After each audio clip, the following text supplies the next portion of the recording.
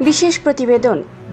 প্রিয় দর্শক কৌশলগত সম্পর্ক উন্নয়নে লাতিন আমেরিকার বামপন্থী সরকার শাসিত তিন দেশ, ভেনেজুয়েলা, কিউবা ও নিকারাগুয়ায় সফর করেছেন ইরানের প্রেসিডেন্ট ইব্রাহিম রাইসি। যুক্তরাষ্ট্রের উঠোন হিসেবে পরিচিত দেশ তিনটির সাথে ইরানের রয়েছে ঘনিষ্ঠ সম্পর্ক। পশ্চিমা বিরোধী এই দেশগুলোর সঙ্গে রাজনৈতিক ও অর্থনৈতিক সম্পর্ক জোরদার করতে সফরে যান রাইসি। ক্ষমতায় আসার পর লাতিন আমেরিকার দেশ তিনটিতে রাইসির এটি ছিল প্রথম সফর। মধ্যপ্রাচ্যে মার্কিন আধিপত্য চ্যালেঞ্জ করার ইরানি লড়াইয়ের সাথে একমত পোষণ করে লাতিন আমেরিকার তিন দেশ, কিউবা, ভেনেজুয়েলা এবং নিকারাগুয়া। মধ্যপ্রাচ্যে যুক্তরাষ্ট্রের দীর্ঘদিনের শক্ত অবস্থানের পাল্টা হিসেবে ইরান যুক্তরাষ্ট্রের প্রতিবেশী দেশগুলোকে নিয়ে একটি জোট গড়ে তুলেছে।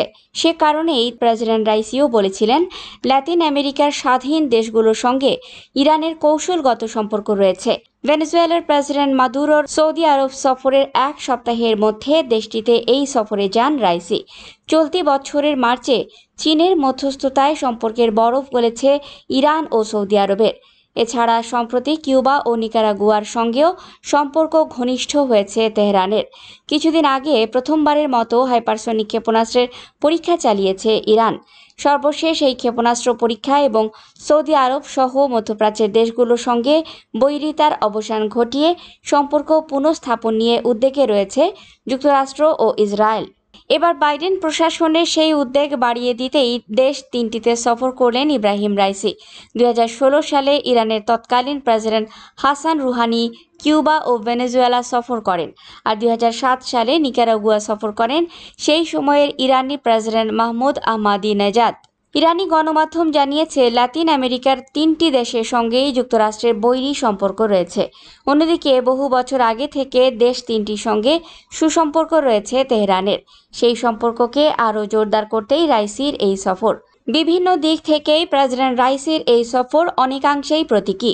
এ সম্পর্কে doctor Sanam Vakil the New আরবকে বলেছেন, প্রেসিডেন্ট রাইসি এই সফরের মাধ্যমে যুক্তরাষ্ট্রকে এই বার্তা দিতে চান যে ইরানের সম্মিলিত প্রতিরোধের শক্তি কেবল মধ্যপ্রাচ্যেই সীমাবদ্ধ নয়, যুক্তরাষ্ট্রের উঠানেও ইরানের বন্ধু রয়েছে। আর এসব দেশেরও উদ্দেশ্য হল বাইডেন প্রশাসনকে এ কথা বুঝিয়ে দেয়া যে তারা যুক্তরাষ্ট্রের চোখ রাঙানিকে অগ্রাহ্য করার ক্ষমতা রাখে। রাইসি প্রথমে ভেনেজুয়েলা হয়ে তারপর অন্য দুই দেশে যান। ভেনেজুয়েলায় তার এই সফরের অন্যতম লক্ষ্য ছিল দুই দেশের মধ্যে বাণিজ্যের পরিধি বাড়ানো। রাইসি জানান, বর্তমানে দুই দেশের মধ্যে বছরে তিনশো কোটি ডলারের বাণিজ্য হচ্ছে। তাদের লক্ষ্য এটাকে দুই হাজার কোটি ডলারে উন্নীত করা। সংবাদ সম্মেলনে দুই নেতা ঘোষণা দেন, শিক্ষা, স্বাস্থ্য থেকে খনিসহ বিভিন্ন খাতে তারা পঁচিশটি চুক্তি সই করেছেন। দুই দেশের মধ্যে প্রযুক্তিগত সহযোগিতা বাড়ানোর বিষয়টিও তাদের আলোচ্য সূচিতে ছিল।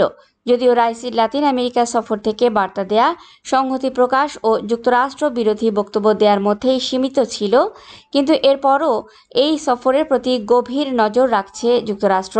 কেননা তাদের ঘরের পাশের দেয়ালগুলোতে ইরানের প্রভাব বিস্তার করা ওয়াশিংটনের জন্য ভালো কোনো খবর নয়, বরং যথেষ্ট উদ্বেগের বিষয়।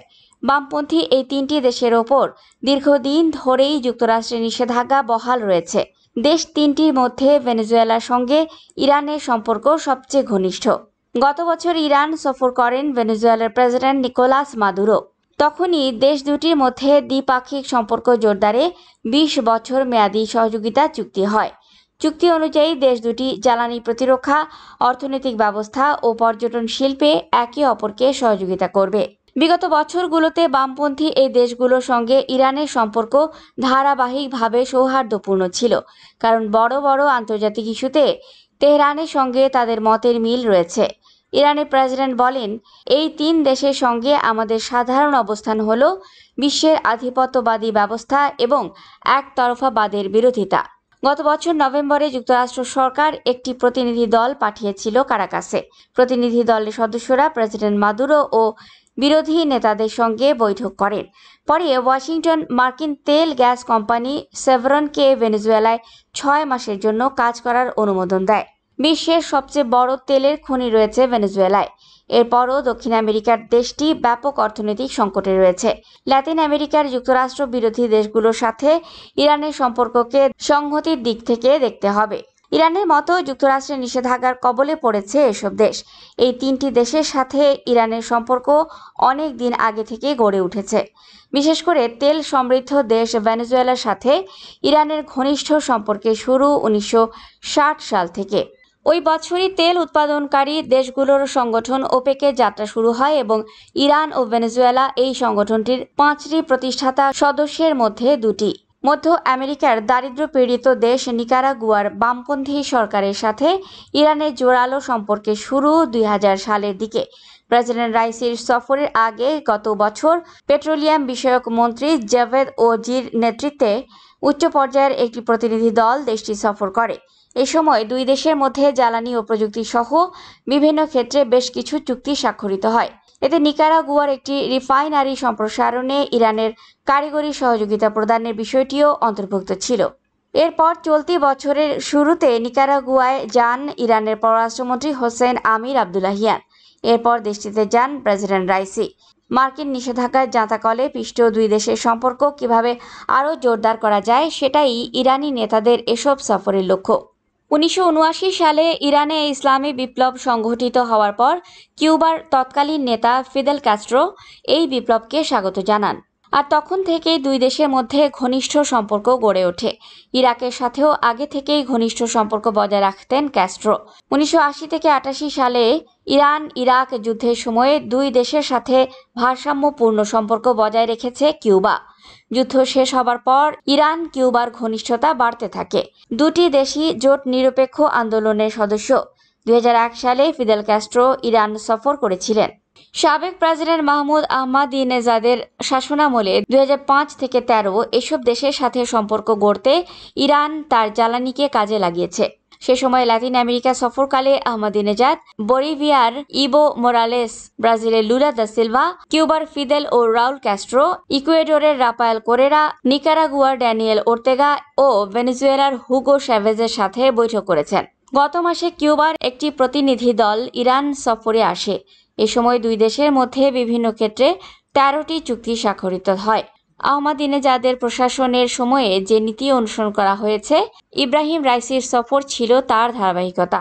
আহমাদিনেজাদ যুক্তরাষ্ট্রকে দেখাতে চেয়েছিলেন, তারা যদি পারস্য উপসাগরে তাদের বিশাল সামরিক উপস্থিতি বজায় রাখে, তাহলে ইরানও যুক্তরাষ্ট্রের উঠোনে নিজের অবস্থান জোরদার করবে। কুইন্স ইনস্টিটিউট ফর রেসপন্সিবল স্টেটক্রাফটের এক্সিকিউটিভ ভাইস প্রেসিডেন্ট ডক্টর তিতা পার্সি ইরান মার্কিন দ্বন্দ্ব নিয়ে একটি গুরুত্বপূর্ণ কথা বলেছেন। তিনি বলেন, ইরানের পররাষ্ট্র নীতিতে আমরা একটা প্যাটার্ন দেখেছি। দেশটির কট্টরপন্থী নেতারা সবসময়ই প্রমাণের চেষ্টা করেন যুক্তরাষ্ট্রের সাথে সম্পর্ক রাখা ছাড়াও ইরান ভালো থাকতে পারে। বিশ্বের দক্ষিণাঞ্চলের দেশগুলোর সাথে রাজনৈতিক ও অর্থনৈতিক সম্পর্ক জোরদার করেই ইরানের পক্ষে ভালোভাবে টিকে থাকা সম্ভব। ল্যাটিন আমেরিকার তিনটি দেশ সফরের মাধ্যমে ইব্রাহিম রাইসি একই সাথে দেশ বিদেশে এই বার্তাও দিলেন যে ইরান আন্তর্জাতিক সম্প্রদায় থেকে বিচ্ছিন্ন কোনো দেশ নয়। বরং যুক্তরাষ্ট্র ও তার মিত্রদের বিরুদ্ধে প্রতিরোধ গড়ে তোলার ইরানি নীতির প্রতি সারা বিশ্বেই সমর্থন আছে। যুক্তরাষ্ট্র বিরোধী ভূ রাজনৈতিক স্বার্থ সংশ্লিষ্ট বিষয়ে ভেনেজুয়েলা, নিকারাগুয়া ও কিউবার সাথে ইরানের সক্ষতা আগামী দিনে আরও বাড়বে বলে মনে করেন বিশ্লেষকরা।